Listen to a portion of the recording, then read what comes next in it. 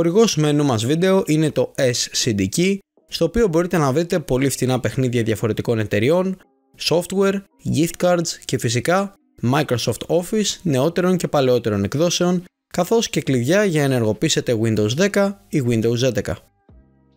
Στο checkout, μην ξεχάσετε να χρησιμοποιήσετε τον κωδικό TTL. Έτσι βοηθάτε και εμάς, αλλά και εσείς κερδίζετε μια επιπλέον έκπτωση στην αγορά σας. Πληρώνετε με όποιον τρόπο επιθυμείτε και σε λίγα λεπτά έχετε το κλειδί στο email σας για να ενεργοποιήσετε εύκολα και γρήγορα τα Windows ή οτιδήποτε άλλο έχετε επιλέξει. Καλησπέρα παιδες και καλώς ορίσατε σε ένα ακόμα βίντεο των TechLads. Είμαι ο Νικηφόρος και ναι σήμερα το πλάνο είναι λίγο περίεργο γιατί ήθελα η συγκεκριμένη κυρία να βρίσκεται στο πλάνο καθ' όλη τη διάρκεια του βίντεο. Σήμερα θα μιλήσουμε για μια οθόνη. Αλλά επειδή δεν μπορώ να τρέξω πραγματικά τα τεστ που θέλω, απαιτεί μια τεχνογνωσία και έναν εξοπλισμό που δεν έχω, δεν θα σας προσβάλλω την νοημοσύνη με το να το πω review, αλλά θα το πω παρουσίαση της συγκεκριμένης οθόνης, η οποία είναι η KTC H27P22S. Γιατί προφανώς και η KTC θα έχει κάποια ηλίθια ονοματολογία. Ναι, δεν γλιτώνουμε γενικά από τα χάζα ονόματα τα οποία απολύτως κανένας δεν θυμάται όσον αφορά τις ε, οθόνες και ειδικά τις gaming οθόνες, αλλά εν πάση περιπτώσει μιλάμε για μια 27 inch οθόνη όπως λέει και το όνομά της, το H27. Πιο συγκεκριμένα μιλάμε για μια οθόνη 27 inch με ανάλυση 4K στα 160 Hz. Ναι. Μέχρι πριν από λίγα χρόνια δεν περίμενα καν κάτι τέτοιο να είναι πιθανό σε μια οθόνη που κάνει λιγότερα από 1000 ευρώ, αλλά η συγκεκριμένη κοστίζει 380 ευρώ για να την αγοράσετε. Και ναι, έχουμε κάτω στην περιγραφή και link και εκδοτικό κωδικό και τα πάντα ε, για να πάτε να την αγοράσετε σε περίπτωση που σας ε, ψήνει κάτι τέτοιο. Η συγκεκριμένη μάλιστα έχει θεωρητικά και ένα MS απόκριση gray to gray με κάποιο overdrive προφίλ προφανώς, όχι σε όλα τα διαθέσιμα προφίλ της. Υποστηρίζει HDR 400, το οποίο σημαίνει ότι υποστηρίζει θεωρητικά HDR, είναι η χαμηλότερη βαθμίδα να το πούμε έτσι, οπότε για πραγματικό HDR περιεχόμενο όχι ακριβώς, απλά τουλάχιστον είναι μια legit HDR οθόνη. Σε αντίθεση με κάποιες άλλες που βγαίνουν ειδικά παλαιότερα που απλά κοτσάραν το HDR το οποίο δεν ίσχυε. Και με χρωματική υποστήριξη στο 132% του sRGB. Και ναι, πλέον ξέρω ότι μπορείς να πας πάνω από 100%, κάτι που δεν ήξερα στο προηγούμενο review. Σας είπα, δεν είμαι ο πλέον κατάλληλος να κάνει review τέτοια προϊόντα, αλλά μπορώ να σας παρουσιάσω με μεγάλη άνεση τον λόγο προϊόν.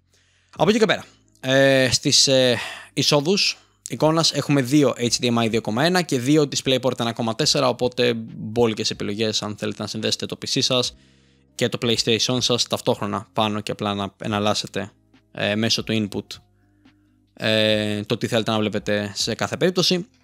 Αλλά από εκεί και πέρα δεν έχουμε κάποια άλλη θύρα οπότε έχουμε μια μεν έξοδο ακουστικών ok, σε περίπτωση που συνδέσετε HDMI και θέλετε ήχο αλλά δεν έχουμε για παράδειγμα κάποιο USB hub το οποίο θα πω την αμαρτία μου με ψιλοπείραξε η λογική βέβαια πίσω από αυτή την κίνηση έχει να κάνει με το γεγονός ότι αυτή η οθόνη ακριβώς είναι πολύ οικονομική για τα χαρακτηριστικά που έχει. IPS panel, 4K ανάλυση, 160 Hz και δυνατότητα για NMS απόκριση gray to gray. Οπότε τρομερά χαρακτηριστικά για μια οθόνη που κοστίζει κάτω από 400 ευρώ. Απλά προφανώς η KTC έπρεπε να κόψει κόστος από διάφορα σημεία.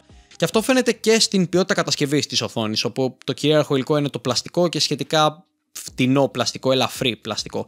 Δεν είναι φτηνιάρικο, δεν πιάνεις και λες Παναγία με αυτό το πράγμα θα σπάσει, θα χαλάσει οτιδήποτε. Απλά είναι το πιο χαμηλής ποιότητας που μπορούσαν να βάλουν ώστε η οθόνη να είναι τουλάχιστον σε ένα βαθμό ποιοτική από άποψη κατασκευής. Το ότι είναι ελαφριά κατ' εμένα είναι θετικό γιατί μπορείς να τη μετακινήσεις με μεγάλη ευκολία και δεν, προσφέρει, δεν προσθέτει με συγχωρείτε, επιπλέον βάρος πάνω στο γραφείο σου για παράδειγμα. Ωστόσο κάποιος μπορεί να πει ότι εντάξει, φορέ θα ήθελα να είναι λίγο πιο στιβαρή. Δεκτών. Ο βραχίανα είναι όμως. Θα μιλήσουμε σε λίγο για αυτόν. Γενικότερα το design είναι gaming σε εισαγωγικά. Έχουμε μαύρο πλαστικό με κάποιες έτσι πιο επιθετικές λεπτομέρειες στην πίσω μεριά της οθόνης, οι οποίες θα είμαι απόλυτα ειλικρινής. Ωραίες είναι όταν τις δείχνεις στο πλάνο, απλά δεν τις βλέπεις ποτέ γιατί είναι οθόνη και βλέπεις το μπροστά μέρος αποκλειστικά. Εδώ άλλες οθόνες κάνουν ολόκληρα σχέδια, RGB φωτισμούς και δεν μαζεύεται, τους οποίους πάλι δεν βλέπεις ποτέ, με εξαίρεση ίσως την αντανάκλαση τους στον τοίχο. Οπότε, ναι. Από εκεί και πέρα το μαύρο πλαστικό έχει το πρόβλημα ότι γενικά είναι πολύ εύκολο να κάνεις δαχτυλιές. Γενικά και στο πάνελ είναι πολύ εύκολο να κάνεις δαχτυλιές. Και επειδή τα bezel είναι πολύ λεπτά, κάτι το οποίο είναι πολύ θετικό άμα θέλεις να βάλεις δύο οθόνες μαζί, όπως θα κάνω και εγώ. Ε, από την άλλη, με το που αποφασίσεις λίγο να την κουνήσεις, ναι, δαχτυλιές. Δεν το αγαπώ ιδιαίτερα αυτό το πράγμα, αλλά τι να κάνουμε. It is what it is. Από εκεί και πέρα τώρα, ο βραχίωνας όπως πρέπει σου δίνει αρκετές επιλογές ε, κίνησης. Μπορείς να περιστρέψεις την οθόνη δεξιά και αριστερά ε, μέχρι αρκετές μοίρες, είναι αλήθεια. Πάνω κάτω για να αλλάξει την γωνία θέασης όπως την κοιτάς. Δεξιά και αριστερά, αλλά αυτή τη φορά όσον αφορά τις μοίρες τις οποίες θα είναι γυρισμένη ε, η οθόνη. Μπορούμε να φτάσουμε μέχρι και τις 90 μοίρες, δηλαδή μπορούμε να γυρίσουμε την οθόνη τελείως ε, στο πλάι, να το πω έτσι, περίπτωση που θέλετε να χρησιμοποιήσετε για κάτι τέτοιο. Ε, οπότε σίγουρα σου δίνει πολλές δυνατότητες παραμετροποίησης. Αυτό που πιθανώς θα ήθελα στο βραχίωνα είναι το να υπάρχουν αυτά που λέω προσωπικά steps. Δηλαδή το να κλειδώνει η οθόνη σε κάποιες συγκεκριμένες μοίρες. Στις 0, όπως την έχω αυτή τη στιγμή τώρα, στις 90. Θα ήθελα γενικά να κλειδώνει σε κάποιες θέσεις που πιθανώς να καταλήξει. Δεν το έχει αυτό, το οποίο σημαίνει ότι είναι πολύ πιθανό να την γυρνάς και να μην σου κάθεται ακριβώ εκεί που θέλεις ή να πρέπει να τη γυρίσεις εσύ ακριβώς και να μην κλειδώνει η ίδια. Κάτι που προφανώς είναι για ακόμα μία φορά ένας τρόπος από την ε, KTC να μειώσει το κόστος της συγκεκριμένης οθόνης. Απλά εντάξει, αλήθεια είναι ότι θα ήθελα να μπορώ να κλειδώσω με μια μεγαλύτερη σιγουριά την ε, οθόνη σε μια συγκεκριμένη θέση, σε συγκεκριμένες μοίρες. Ωραία. Δεν είναι ανάγκη να έχουμε steps κάθε 5 μοίρες, που υπάρχουν κάποιες οθόνες που το έχουν αυτό, αλλά σε 2-3 θέσεις θα ήθελα να υπάρχουν. Δεν έχουμε κάτι τέτοιο. Τώρα, από εκεί και πέρα πώς είναι σαν οθόνη. Γιατί τόσο ώρα μιλάω για την ποιότητα κατασκευής, το γύρω-γύρω, την βάση της. ΟΚ, okay, καλά όλα αυτά, αλλά σαν οπτική εμπειρία, πώς είναι. Out of the box δεν είχε αυτό το blue tint, δηλαδή πολύ έντονα μπλε που είχε η προηγούμενη οθόνη της KTC που είχα κοιτάξει. Τα χρώματα ήταν αρκετά σωστά, να το πω έτσι. Το sRGB προφίλ με βόλεψε προσωπικά πάρα πολύ, οπότε μάλλον αυτό θα κρατήσω, είναι η αλήθεια.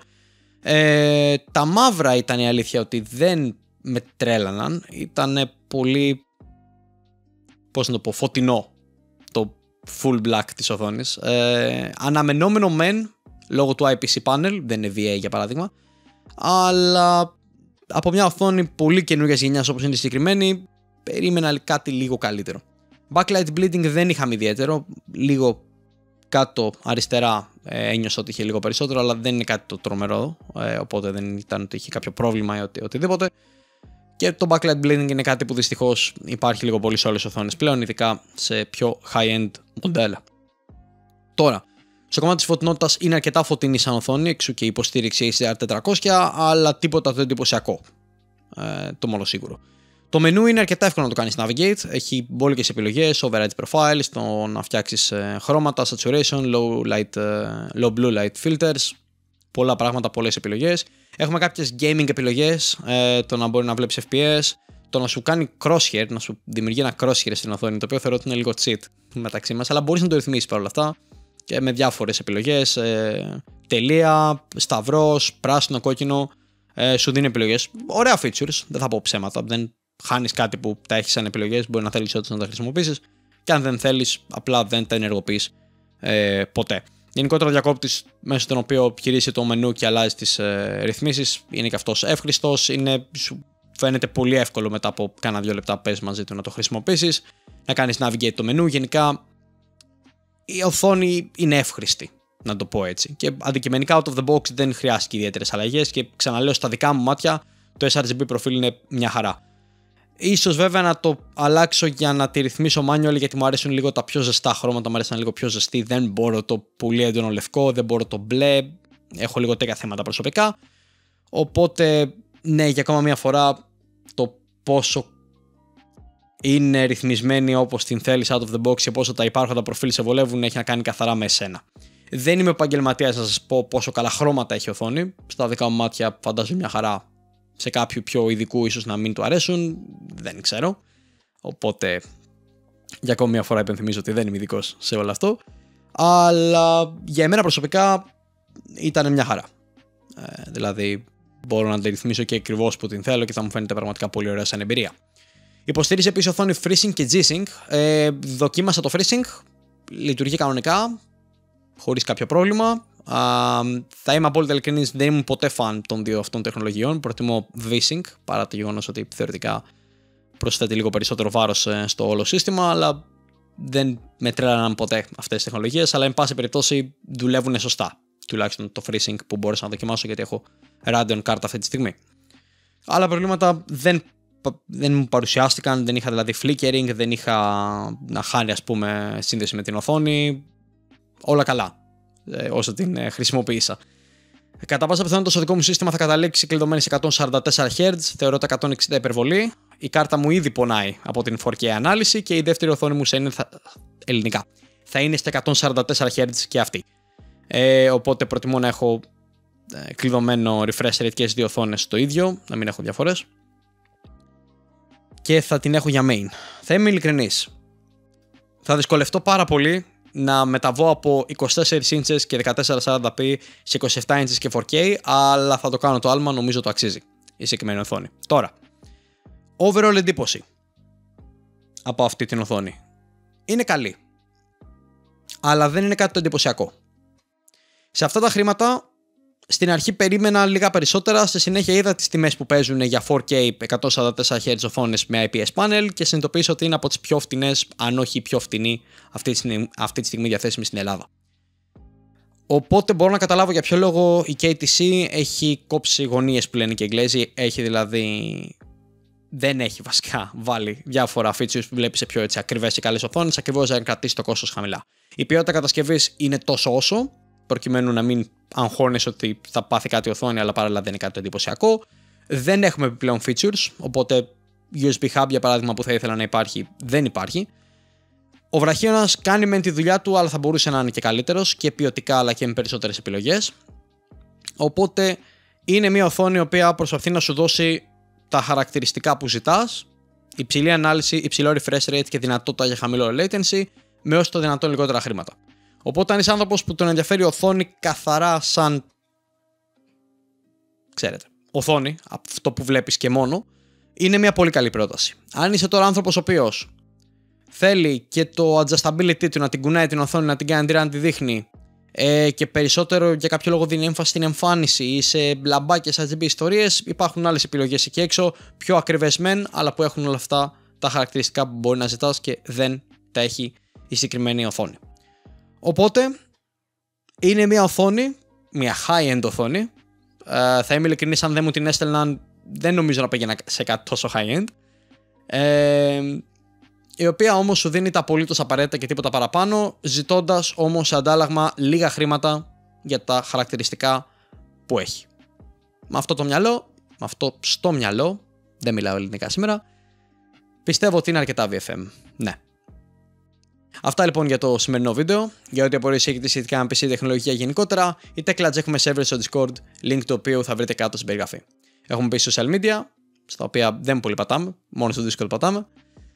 Και αυτά θα τα βρείτε κάτω στην περιγραφή. Είμαι ο Νικηφόρος, τα λέμε στο επόμενο βίντεο των Techlads και μέχρι τότε να περνάτε πάντα, μα πάντα, μα πάντα καλά.